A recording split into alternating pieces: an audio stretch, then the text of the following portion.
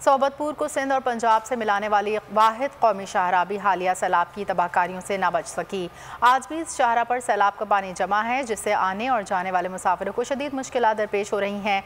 बोल न्यूज़ के नुमाइंदे दानवल कौमी शाहरा पर मौजूद हैं। जी सावल, शाहरा की क्या सूरत हाल है और मुसाफिरों को किन मुश्किल का सामना करना पड़ रहा है? जी, बिल्कुल इस वक्त मैं सिंध बलूचिस्तान को मिलाने वाली मिलाने वाली कौमी शाहरा पर मौजूद हूँ, जहाँ पर आप देख सकते हैं कि 26 अगस्त को आने वाले सैलाबी रेलों ने तबाही मचा दी है। अभी भी मैन शाहरा पर एक से डेढ़ फुट पानी खड़ा हुआ है। छोटी गाड़ियाँ हो या बड़ी, मोटरसाइकिल वालों को भी आने और जाने में शदीद मुश्किल दरपेश हो रही हैं। यहाँ पर आप देख सकते हैं कि ये जो पब्लिक ट्रांसपोर्ट और अगर आपको हमारी ये वीडियो पसंद आई है तो लाइक पर क्लिक कीजिए।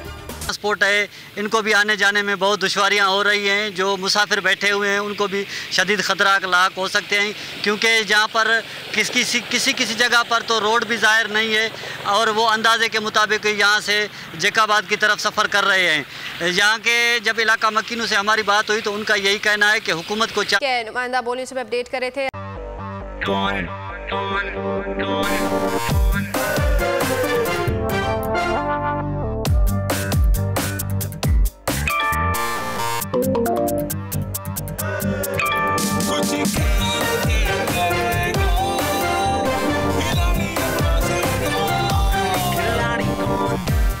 सबको सब कुछ चाहिए। फेम और पैसे हम्म?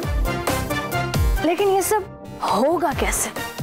लेट्स फाइंड आउट आखिरी खिलाड़ी कौन?